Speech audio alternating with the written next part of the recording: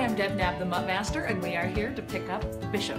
Bishop has been waiting here at the Stray Hearts Animal Shelter since. Hello. Hi. Hello.